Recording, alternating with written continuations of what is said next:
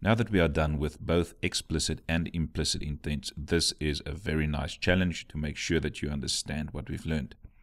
So you'll see on the on the main activity, what I want you to do is to create an app with a text view there and a button that says create new contact.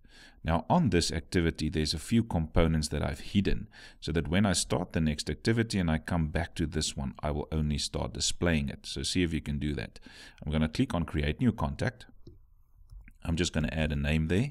You add a telephone number there. So we're going to use implicit intents here as well. And a website, let's say backendless com and a location. I'm going to say 5 Nelson Mandela. Let's say Bloemfontein. And then you can choose one of these pictures and which whichever picture you choose here will will also be shown on the next activity. So if I click on the red face there, it's going to go back and show the red face there. So this is again the activity where we started we started with this activity, but I've hidden these components. So now they are showing. And you can see the exact same face I clicked on the other side is showing now.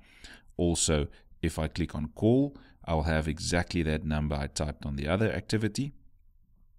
As well as if I go to the website and I say open up with Chrome or what whichever browser, uh, it will open up that web page that I specified. And I specified backendless.com. Also, if I click on the location, it should go to Nelson Mandela Drive in Bloemfontein. Right, and that's basically then the app that you need to create. So see if you can create this. This will be a nice exercise, a nice challenge for you to, under- to see if you understand explicit and implicit intents. Good luck.